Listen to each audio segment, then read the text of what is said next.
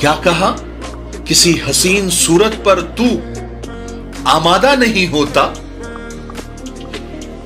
जाने दे यार, इतना भी कोई सादा नहीं होता। मेरी एक बात तुम याद रखना, तुम ज़िंदगी में कभी भी थक मत जाना। अल्लाह तुम्हारी बर्दाश्त की ताकत को कभी नहीं आजमाता। वो तो तुम्हारे ईमान का इम्तिहान लेता है और इम्तिहान भी उन्हीं का लेता है जिनको वो अपना दोस्त बनाना चाहता है। अल्लाह को तुम्हारी बर्दाश्त की हद मालूम है। वो तुम्हें कभी भी उस हद तक गम नहीं देगा। हमें लगता है कि हम थक गए हैं, मगर हमारा ईमान नहीं थकता।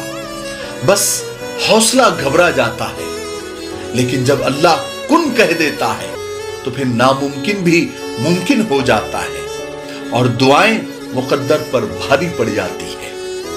इसलिए अल्लाह पर हमेशा भरोसा रखना। बात समझ में आई?